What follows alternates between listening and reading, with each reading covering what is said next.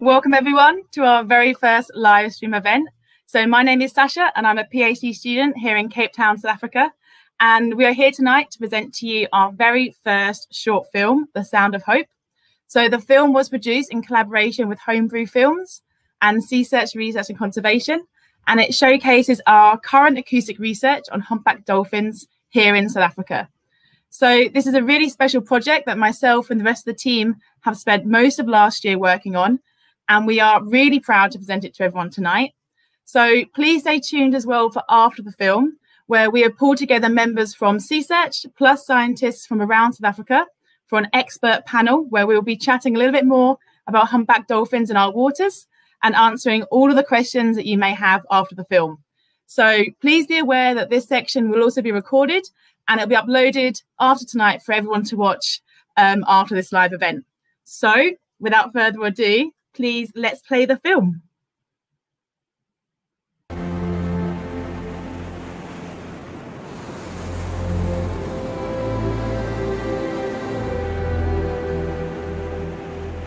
Two spectacular and contrasting oceans surround the southern part of Africa. The Atlantic side of the continent is a showcase of a cold marine environment with an impressive abundance of life on islands and below the surface.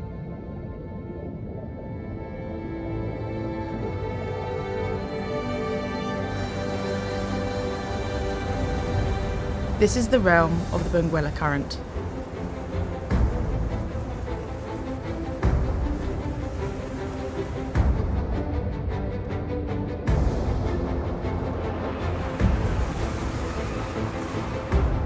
By contrast, on the Indian Ocean side of the African continent, the water is warmer, generating a diverse and colourful marine environment. This is the realm of the Agulhas Current.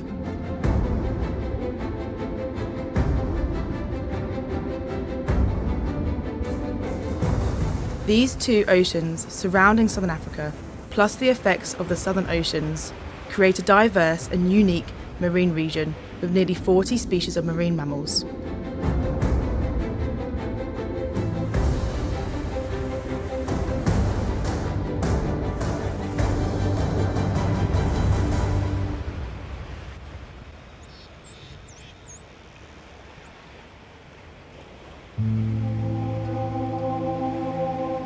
The coastal area around the city of Cape Town is a microcosm of the mixing zone between these two oceans and holds a remarkable level of marine biodiversity. Here, five species of dolphins and three species of baleen whale are regularly observed from shore.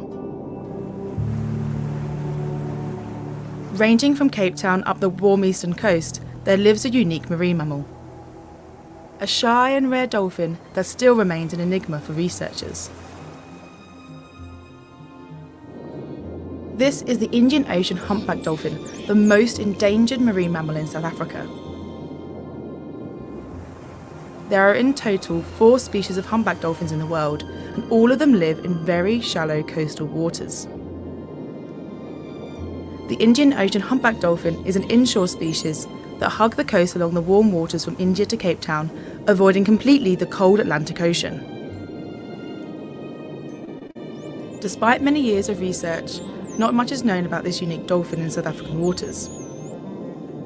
Although the best estimates available suggest that there are no more than 500 individuals along the entire coast, down from around 1,000 individuals only 20 years ago. Their habitat and habits make them hard to study. They move and socialise in small groups, often hiding in the surf zone, and in murky water, making them difficult to find and photograph. Individuals are known to move along hundreds of kilometres of coastline and are rarely identified more than a few times in any study. This makes it almost impossible for scientists to study important individual level questions, like health, survival, and calving rate. The Indian Ocean humpback dolphin's preference for coastal shallow waters places them in some of the most dangerous waters. Coastal shallow seas are most intensely utilised by humans, and dolphins encounter waters with heavy fishing, shipping, recreational activities, and pollution entering the seas from rivers and beaches.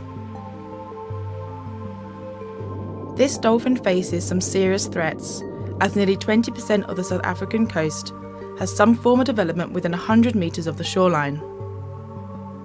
Since humpback dolphins depend on and prefer coastal zones associated with rivers and estuaries, they have amongst the highest level of pollutant of any marine mammal in South Africa. Another serious threat is the devastating effect of shark nets that kills far too many humpback dolphins per year in KwaZulu-Natal, removing valuable individuals from an already endangered dolphin population.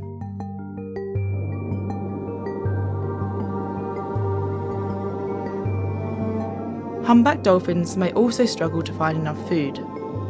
Marine scientists suggest that the decline in reef fish species and the overexploitation of many estuarine dependent fish species may limit the growth of this dolphin population. It is very difficult to assess the impacts of all these natural and human induced threats on the declining numbers of the humpback dolphin. It is likely that the collective pressures of all these threats are the driving factor contributing to the fast decline of humpback dolphin population. These threats are associated not only with a clear drop in dolphin numbers, but also changes in their natural behaviour and the increase in the number of solitary animals.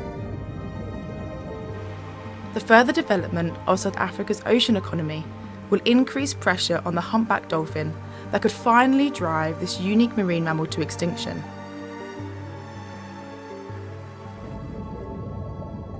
To conservationists and marine scientists, it was clear that something urgently needed to be done to avoid losing this enigmatic dolphin from our coastal waters. Working with such low numbers of humpback dolphins, the researchers needed to innovate to obtain better data. So, as a response to these threats, researchers around South Africa came together and formed the SouSA Consortium in May 2016. And this was the, with the aim to increase research capacity in humpback dolphins around South Africa. So this award-winning consortium comprises of 18 members from 15 different institutions and they come together to conserve the species at a national level in South Africa. So when we're working with such low numbers in a population, it's really important that we now need to innovate to come up with new ideas for better ways to study these animals. Humpback dolphins rely heavily on vocal channels for communication and exploration of their environment. The use of acoustic monitoring offers a cost-effective option for detecting animals along the coast, particularly in water with low visibility such as estuaries and sheltered bays. A key area of my research has been trying to confirm signature whistle use in these animals. Dolphins are unique among mammals in having signature whistles, which are similar to a name and are used to communicate with one another. All previous efforts at acoustically monitoring dolphins have only identified vocalizations to the species level of present or absent. This study is a new approach and will allow researchers to identify individual dolphins and look at numbers, movements, and even who's hanging out with who. The research team will be deploying underwater recording units throughout South Africa to detect dolphin presence. This unique and exciting new way to collect data on humpback dolphins will mean scientists are able to monitor this endangered species with very little or no interference. Also eliminating the need to be on the water and directly interacting with individuals that may influence their natural behaviour. By identifying naturally occurring vocalisations, scientists will be able not only to locate the animals along the coast, but also determine how far they travel and also estimate the number of individuals in the group. By recording humpback dolphin vocalizations, scientists will be able to explore habitats that are remote or difficult to access via boat. Instead of being limited to studying them on a few good weather days, scientists will be able to record information about the animal's movements 24 hours a day and over extended periods, giving superb and more comprehensive information of the dolphin's activities. The use of underwater acoustic technology will open a new world on the secret life of the enigmatic humpback dolphin. Not a moment too soon, as this information will be vital to better understand and conserve South Africa's most endangered marine mammal.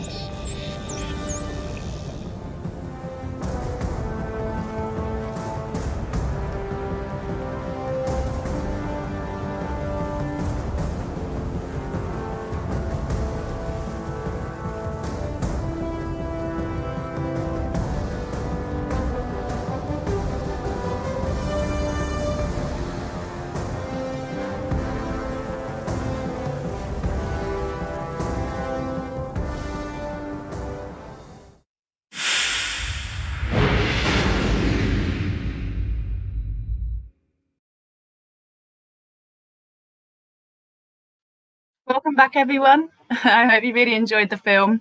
Thank you all for joining in with the discussion this evening. So, hopefully, over the next 20 minutes or so, or a little bit longer, maybe, we can hopefully shed, shed some light on our research, the acoustic work that we're doing. But mainly, we really want to share with you some more information about humpback dolphin conservation here, right here in South Africa. So, if you do have any questions, now is your chance to pop them in the chat box to the side of your screen you will have to log into YouTube maybe or or Google. And then when you do post them in there, Courtney, who is working in behind the scenes tonight to help us, she will be managing the show backstage and she'll be able to pop them up on our screen. And we will try our best to answer um, any and every question that you have.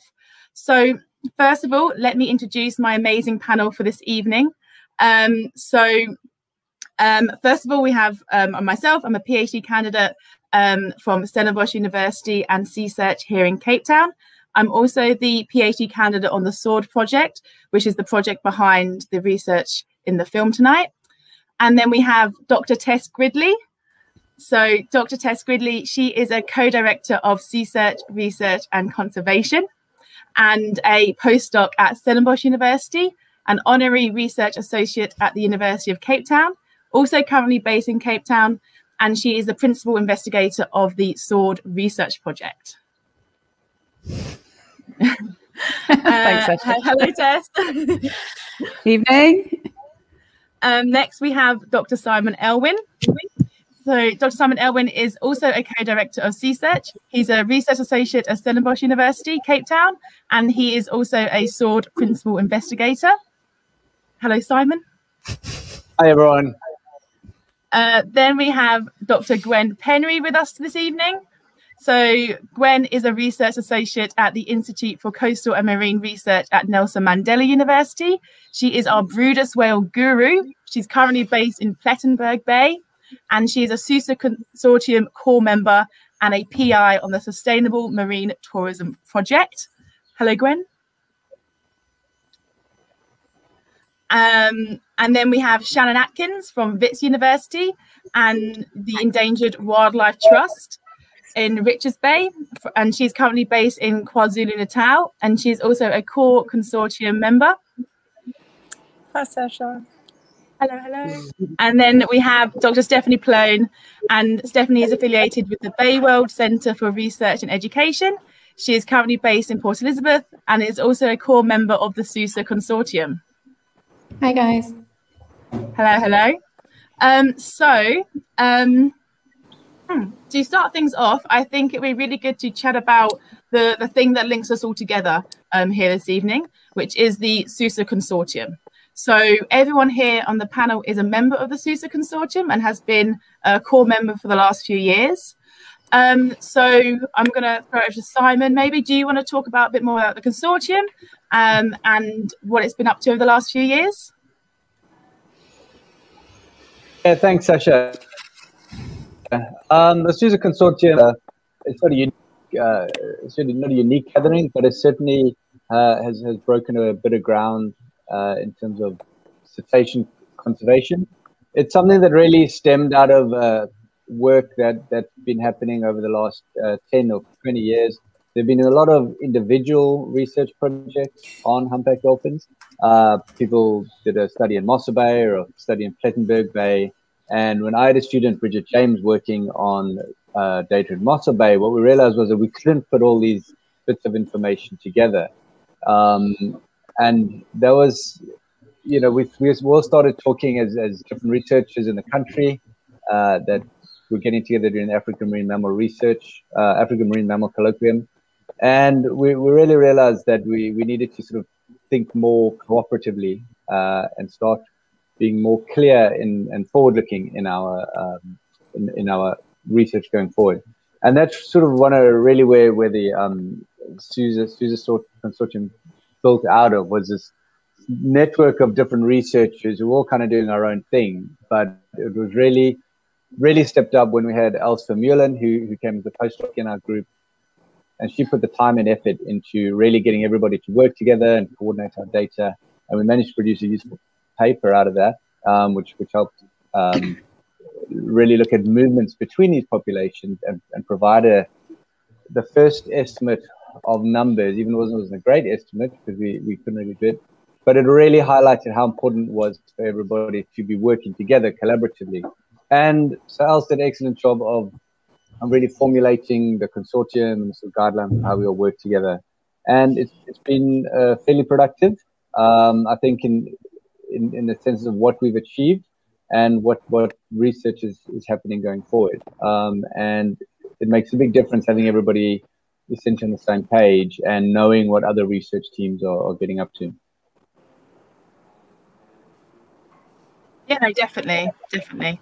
Um, so I think that gives a really good base for um, our backgrounds and how we've all come together to work with humpback dolphins um, for their conservation in South Africa.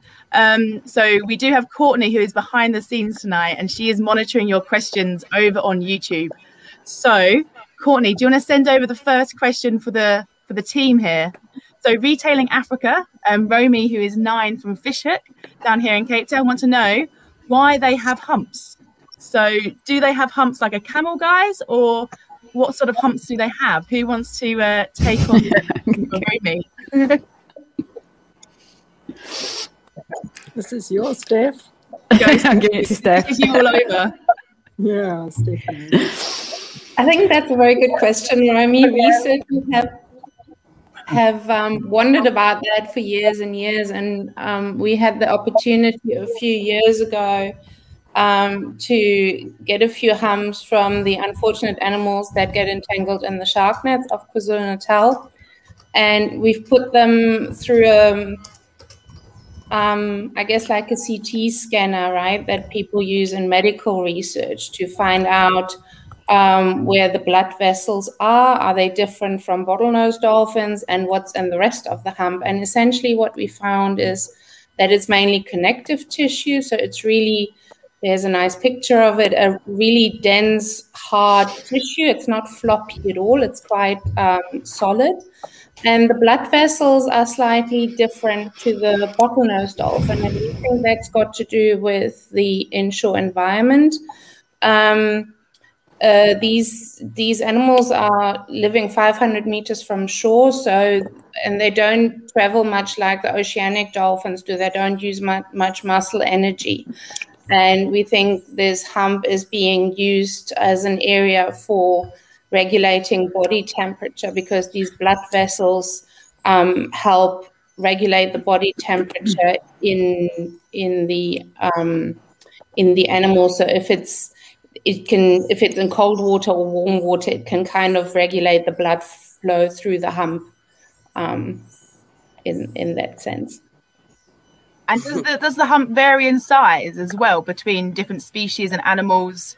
Um, I noticed that that's a different way to ID the animals that we've seen from the boat. It's not just the dorsal fin, but from the shape of the hump as well.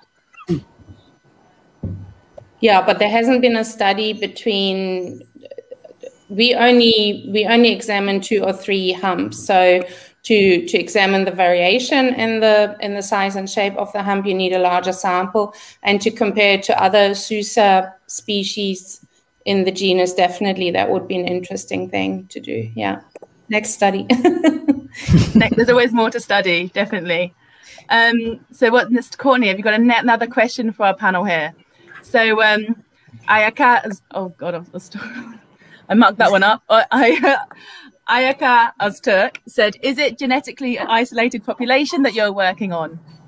Um, so the population that we're working on here in South Africa, um, I, who do you think can answer that question? Maybe Tessa Simon, the one that we're working on here in the, the South Coast.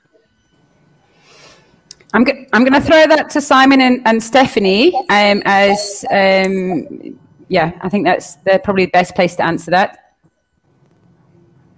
Uh, sure. Let me let me just say. Uh, so humpback dolphins tend to form naturally form fairly small, semi-isolated populations. So along South Africa, we have a population. This is what came out of the photographic work that we did a few years back. We know that essentially the animals between, looking at the map on the screen, between about Cape Town and just east of Port Elizabeth are one population. Then there's a bit of a gap and um, there's a separate population on the north coast, north part of the KwaZulu-Natal coast. What we know about the genetics in South Africa is almost all based on animals from that KwaZulu-Natal population. There have been a number of studies globally that have shown there's very clear um, separation of populations. It, it, depends on how, how detailed you look, uh, but there's certainly separation of populations. What we don't yet know is is how there's that this population we're dealing with on the south coast, how isolated they are in terms of uh, literal sort of day-to-day movements of individuals, um, and also genetically, because we only have a handful of samples from animals actually on the south coast because they, they strand incredibly rarely. Um, and uh, I think Stephanie's got a, done a, been involved in a lot of the work that's come out of the KwaZulu-Natal population. Um, but as yet, there's been no genetic work done on the South Coast population. Um, don't know, Stephanie, if you have any further comments there? No, I think that's that's it in a nutshell. We've just um, we're just busy using some um, samples from mainly from Natal, um, but also back quite a few decades. So the the availability of teeth in the museum collection in Port Elizabeth allowed us to use that as a as a way of extracting DNA and looking at genetic changes over time as well. So that's what we're just busy with. Yeah, I think um, the lack of samples was something that was surprised me working with humpback dolphins. The lack of uh, strandings data as well, comparison to other species of dolphin. Um, so John Crockett has a question: What recording technology are you using, and how are you deploying them, especially in the shallow surf zone? So Tess, I think this is a question down our street with um, dealing with the shallow surf zone because that's something that we've been struggling with or dealing with for a long time now. Yeah, cheers. Um, it's a good question. Oh, that's Heidi does. Um, okay, so in general, uh, we, we conduct the acoustic research in, in, different ways. So we do focal follow. So effectively, we go out on t- uh, uh, to sea on a small boat, and we basically follow groups of dolphins around, and we record the sounds that they make using. Um, it's called a hydrophone. It's an underwater microphone, effectively. And, and when we do that, um, we're really trying to get um, detailed information on the behavior of the animals um, and to really record, if they are making these signature whistle calls, to, to record those and catalog them. In terms of the long-term data that we're collecting, we um, are using um, recording instruments called sound trap hydrophones. Uh, they're made by a company called Ocean Instruments. And the benefit of these sound traps, and I, I don't have one to hand, I don't know, Courtney, if we have an image of one, um, but they're around th this size um, and they record um, for, for several weeks at a time. Um, and dependent on the settings that you use, you can set them to record the very high frequency, there we go, sound sounds uh, produced by dolphins. And in fact, um, over 200 kilohertz we can record up to. Um, the, the issue with sound trap hydrophones, unfortunately, for people working in Africa is that they're very expensive. So um, they're several thousand US dollars per unit. And that means that we're quite restricted in terms of the number of, um, of these hydrophones that we can actually um, deploy and put out into the environment. And so currently we're looking into other options. And there's, um, there's a great uh, company working in the UK who makes something called an audio moth. Um, and these are very um, small and fairly low cost um, comparison to the sound traps. And so we're currently doing quite a lot of testing to, to use these audio moths, which have mostly been used um, to record bats and birds and other animals in the terrestrial realm.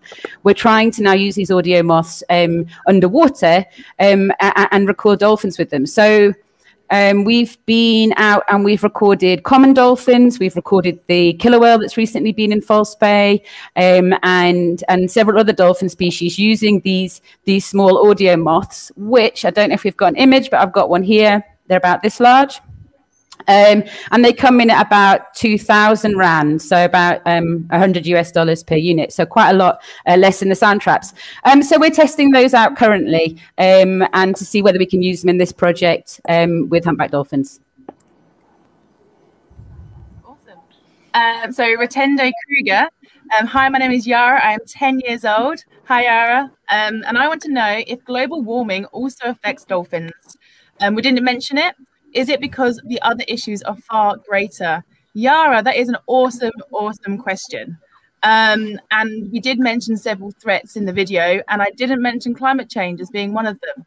Um, does somebody want to discuss the, the threats to the dolphins in South Africa a little bit more and why climate change is not necessarily um, one of the main threats listed against humpback dolphins? I'm going to give that to Shannon and Gwen. yeah. I'm looking over to you guys. I think um, I, I think we can all answer. Oh, you Yeah. go, Gwen. Yeah, I, You go. look, I think we can all chip in here, but climate change feeds into all of the threats, really. It's an overarching problem that um, habitat shifts and changes and uh, shifts in their prey availability will all be increased by um, or exacerbated by climate change. Um, and also because of their, their very coastal distribution, you know, increased storm surges and um, yeah, just so climate change will affect them. Um, but we, as a consortium, we're trying to focus on on some of the threats that we can action sort of immediately and and deal with one at a time. Um, and hopefully, that by doing that, we'll be able to mitigate against the long term threats um, of climate change. Go, Shannon, your turn.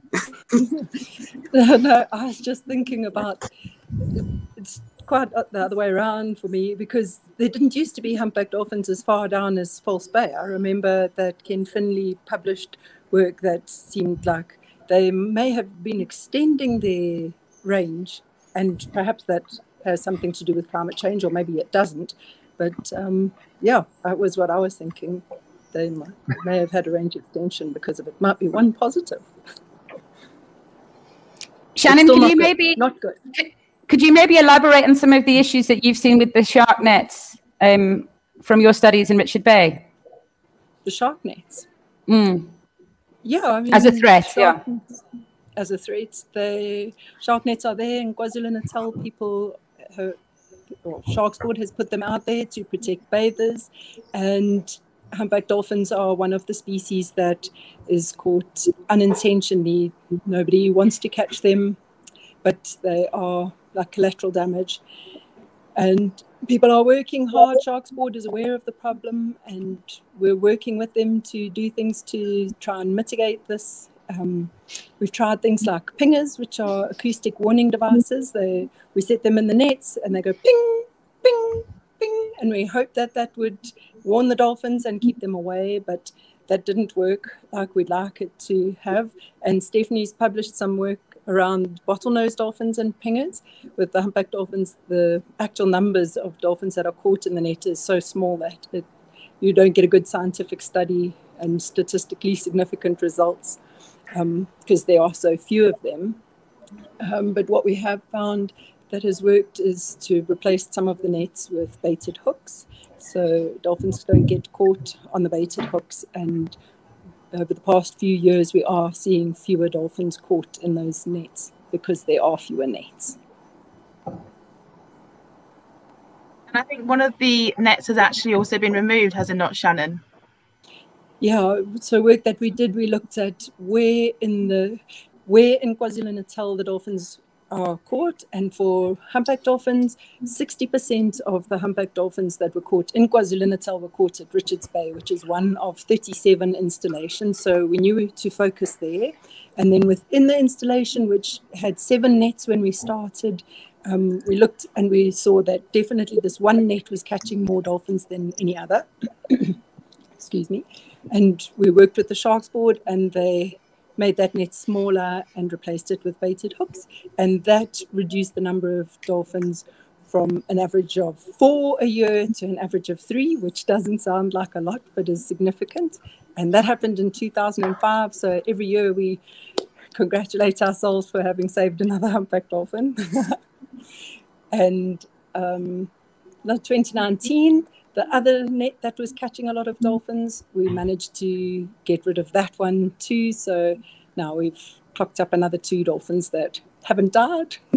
so that's the, the main thing that we've been doing to mitigate against that particular threat. But dolphins still die. We do still need to work on it. We are looking at it as more a so, social ecological issue now, not just focusing on the dolphins, but talking to the stakeholders and the people who are involved with setting the nets and permitting the nets and funding the program and just trying to understand how the whole system works so that we can figure out how to change it. I think it's an awesome um, success story in the con- conservation of humpback dolphins in South Africa. So, yeah, well done for the work that you've been doing there over many, many years. Um, Courtney, do we have another question? So, Marine Finn says, Hi guys, what is the conservation status of humpback dolphins? And what is the current projects on cetaceans in South Africa and Namibia? Thanks and apologies if the questions have already been answered. Woof, Marine Finn, that is a, uh, a wide, uh, open ended question. Um, so, current um, conservation status in South Africa is um, endangered. So, they are locally um, endangered on the IUCN Red List, um, and they are an endangered species worldwide as well. Um, and then, current, I think the second part of that question was conservation projects. So, the consortium is involved in many of those. So, does somebody want to to delve into a little bit more about those those projects and what's currently happening um, around South Africa? Okay, Simon.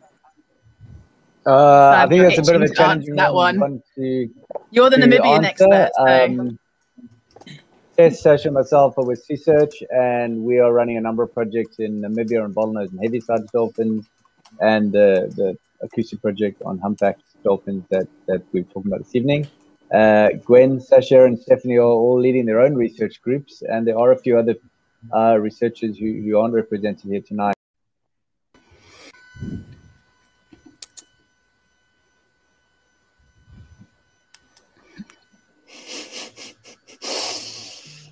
We're back. It's just the two of us. Sorry, everybody. It looks like there was a few issues there, and it just all went down. But we are we are slowly coming back, so just stick with us, and um, hopefully the rest of the panel members will be back on shortly, and then we'll just pick up um, and and try to to get everybody going. Sasha, you're back. it's been so long. oh wow! Trying to live stream from Africa, hey? Yeah. As as a mum, I want to get to the the three or four questions posed by the children before bedtime. So that's my overriding uh, concern. I can see that there's children here that have posted questions, and so we're going to try and get to those before before that all uh, encroaching bedtime arrives. Cool. Let's let's kick it off and wait for everyone else to the other guys to refresh their browsers. So um, we can we can tackle Marius's um, Marius Jacobs' question with Morgan twelve. So when the baby humpback dolphins are born, do they have the humps or does it come with growth? Brilliant question, Morgan. Wow. First of all, I think I think to say that um, it's very very rare to see. Um, I don't think anybody's actually filmed. And Steph, you might correct me if I'm wrong. Has anybody filmed a, a humpback dolphin giving birth? Not that um, I'm aware of, no. Yeah, so so that's pretty pretty rare. Um, but they do come with their humps, but they're often a bit more floppy, aren't they, Stephanie? I'm going to pass this one back to you. Well, when the babies are first, all dolphin babies are born, the the fins and the and the are folded over to one side, um, and it takes a few days um, for these floppy fins to um, get hard and, and more erect.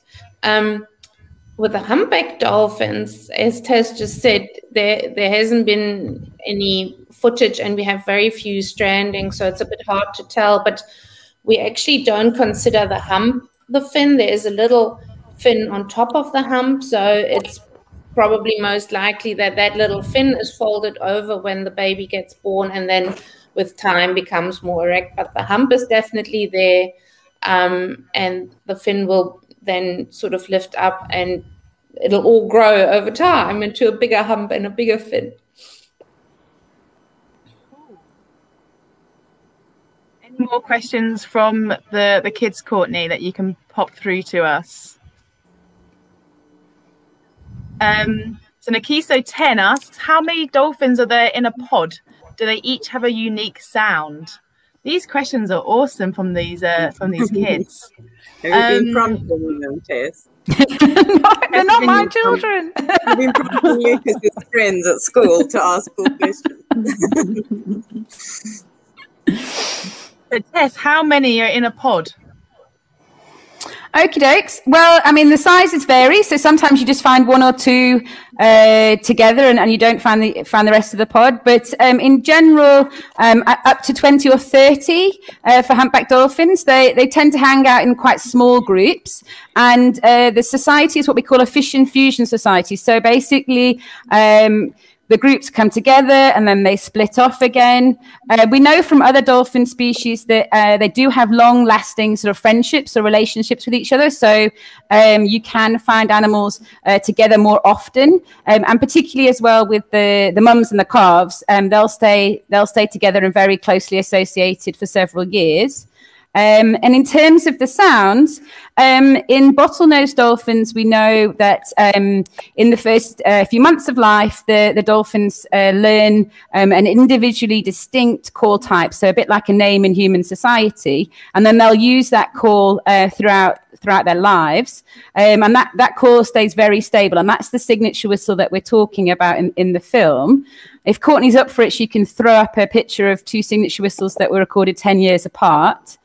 Um, but in general, uh, you know, what, what we know about signature whistles is, is based on bottlenose dolphins um, that are often the dolphins we see in captivity and also dolphins that, you know, the species that we see very close to shore.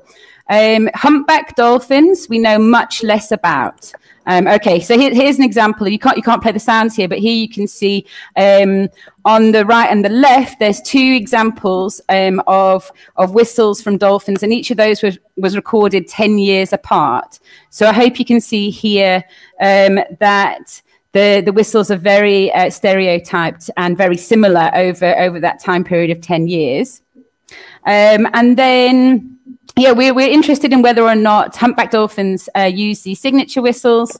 Um, and, and so we're starting work on that now. And that's some of the first um, results that will be um, part of Sasha's PhD uh, research.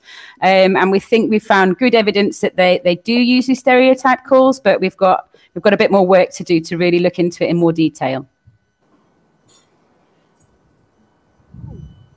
So Tracy has a message from Luke, who's eight, saying, How fast can they go and what preys on them? So, how fast can the dolphins go? That's the first part of that question. Shannon, are you itching to? Do you know? Was that intake of breath?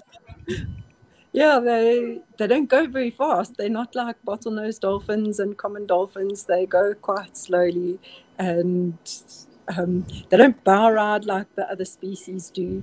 It's, I kind of think of them like they're like orangutans, and the bottlenose dolphins are more like chimpanzees, where they're in small groups and they go slowly and they do their own thing. Compared to bottlenose dolphins, like the chimpanzees, which are in big groups and excitable and rush around and everything. So I think of them like that um, in terms of speed and what preys on them. Well, the big sharks do. And we know from research that was done in the 80s that humpback dolphins actually have a quite a high incidence of shark scars on them, scars from being attacked by, by sharks. Um, more than the bottlenose dolphins. Um, Vic Cockcroft did a, a, study looking at the different species that were caught in the nets, and almost a third of humpback dolphins, more than a quarter, had had scars. Um, it's entirely likely because they seem to um, especially in KZN, live more in, in murky water where it's hard to see what's coming at you.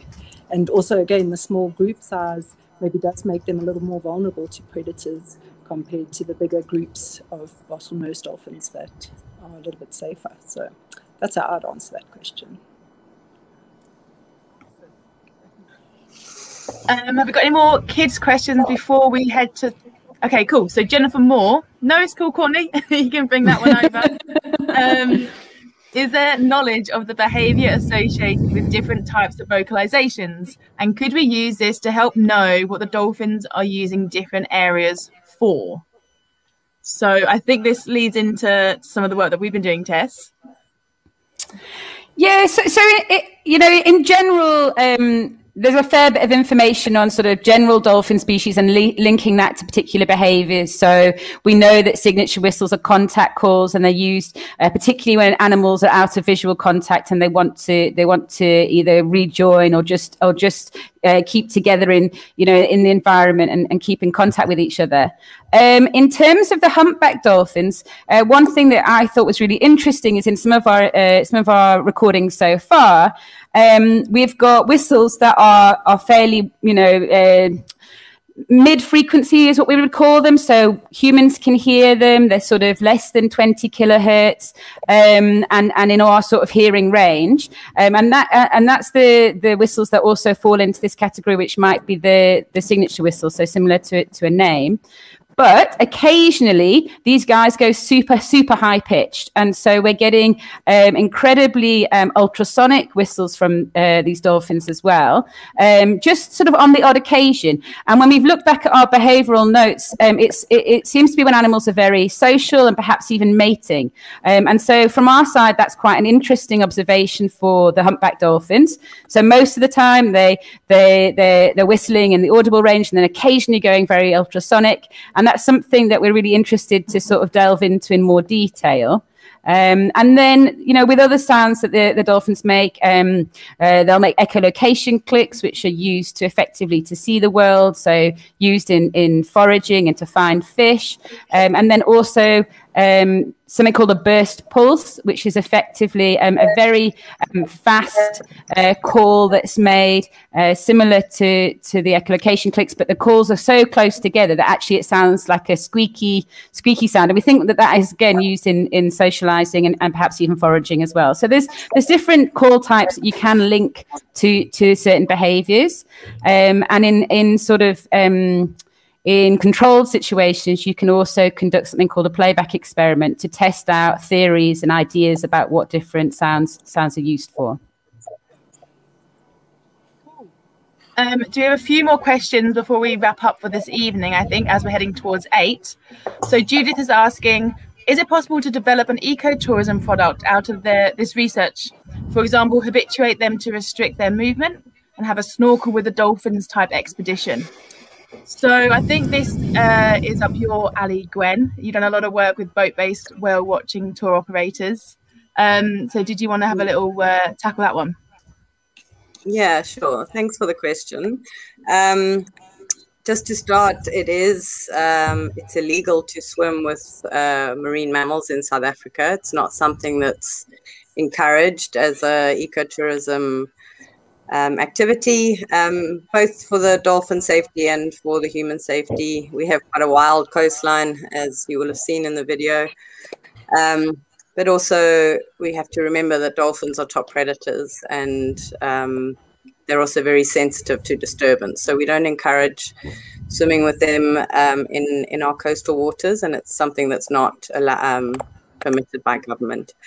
So, in terms of on the screen here, um, I've been working uh, with a team here in Plett on a sustainable marine tourism project. And the aim is to try and understand if the regulations in our in our whale watching industry um, are working to protect the animals. Um, we have actually got really good, strict um, permit regulations in South Africa. So um, we're sort of having a look at, at what effect vessels um, have on, on dolphin behavior, and that's all vessels, not just the permitted um, industry. So this poster was developed by one of our team members, Caitlin Judge, um, and it uh, highlights some of the, the biology of the humpback dolphins, but also gives um, some guidelines on on what you're allowed to do and what you're not not allowed to do as a, a permitted whale watching operator. And these these posters are um, downloadable from the Nature's Valley Trust website under their resources page. Um, but yeah, so developing resources um, to educate people who use the ocean on boats or kayaks, um, anything really, um, is really critical to to help us um, protect these these endangered dolphins. Um, and there are recreational guidelines available too, and that you know if we think about their distribution, I don't know if um, Courtney you can get the distribution map up for the humpback dolphins. But they're restricted to waters less than 25 meters deep, and they have a really, really narrow strip of coastline that they live in. They've got nowhere else to go. So we really need to um, make sure that, that that shallow coastline and shallow habitat that they live in is um, protected as much as possible. And, and boaters need to be careful and reduce their speed when they're traveling close inshore. Um, yeah, so in terms of ecotourism, no swimming allowed. Um, it's not possible to habituate the dolphins. They're free ranging wild animals um, and they need to stay that way. So um, yeah, we're going to have to come up with some some better management plans uh, than trying to train them to stay away from people. and then I think, then uh, I think uh, oh, I'm echoing now. Uh, a final question, maybe for our panel, um, as we approach eight o'clock. I think um, we can uh, to wrap up with one last question for everyone here. So Annabelle Dines says, loved it. Is there anything the general public can do to help the conservation of humpback dolphins? What an appropriate question to end on, everyone. Um, so has anybody got any initial thoughts um, from the panel on how they feel the public can really get involved with uh, humpback dolphin conservation in South Africa?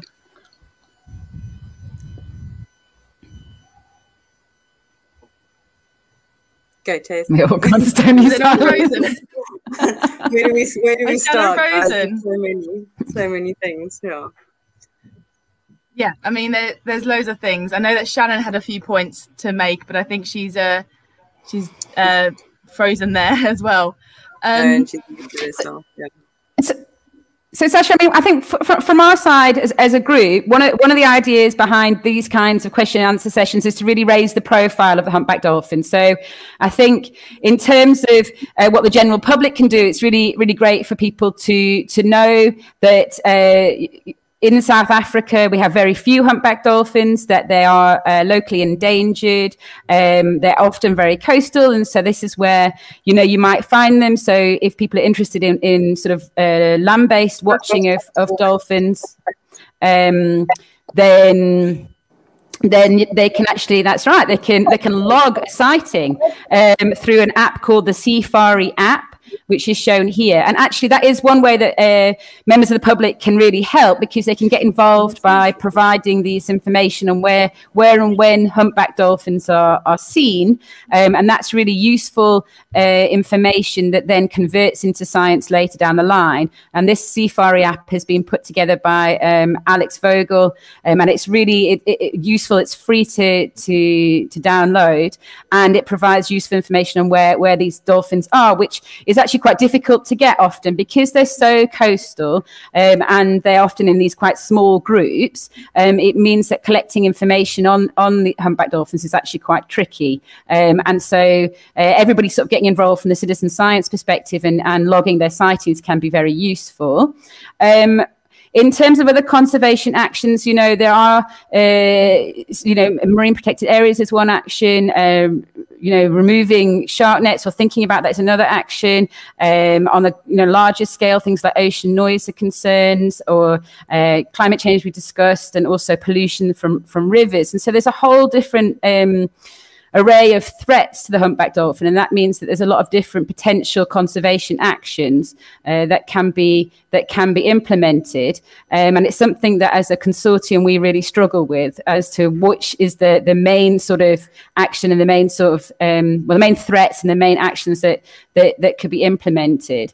And so, one of our sort of key objectives is really to to raise the profile and to put humpback dolphins on the on the menu i was going to say but that's not what i mean. But on the on the table at these at these policy uh, meetings and um, in terms of in terms of getting people involved and knowing um, at, the, at the government and intergovernment levels um, about humpback dolphins and and and making sure that they don't become uh, further reduced in numbers and, and become locally extinct. Um, so it's it's it's a bit of everything really but um, i'm going to pass it across to, to maybe to gwen or to stephanie who can add to that is Shannon back? No, Shannon's not back.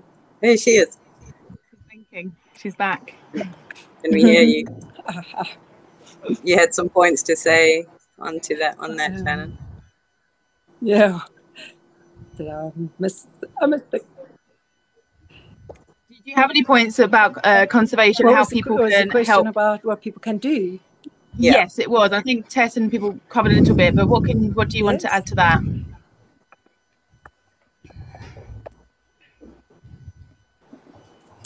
Yes, one. Well, I would say one thing that you could do is ordinary people can just make sure to buy locally instead of buying things that are shipped. Oh no, we lost her again. Lost her Shame. again. Okay, Uh, so bad connection yeah, Yeah. bad connection. So I think I think we'll uh, we'll wrap it up there though for everyone. Um, and as we do finish, I just want to take this opportunity to say, say thank you for everyone for tuning in tonight, um, and also for all of you guys on the panel, and to um, to Shannon and Simon as well, who didn't weren't able to log back in. But I really appreciate you guys taking the time um, out of your evening to come and join me tonight for this for this event, and especially to everyone back at home for tuning in and sticking with us through the technical difficulties. I think we might have broken the site a couple of times and struggled with bad internet connection, but we made it through. We finished, and I really appreciate everyone who has stuck with us to the end. And um, also, I think we need to say a big, big thank you to Courtney, who is behind the scenes right now, um, who is probably a little bit stressed about with everything breaking on her. but yeah, Well really, Courtney. really, really appreciate you, Courtney, for um, for posting the questions and uh, helping uh, helping us on the back end. Um, and I really um, hope you've all enjoyed it and um, learned more about humpback dolphin conservation over the course of this evening. Um, so if you do want to find out more, you can head to the seasearch.co.za website or the sousaconsortium.com um, for more information. You can also subscribe to this channel, the Sea Search um, Research YouTube channel, where we're posting lots and lots of updates on the project as we go forwards with it um, over the coming months. And also this um, Q&A and the film will also be going live um, in the coming, I think the film will be going up live later today and the Q&A hopefully up tomorrow. So thank you ever so much for joining us, guys. Um, and yeah, and as for that, thank you. Well done, Thank Sasha. you. Lovely video, everyone. Bye.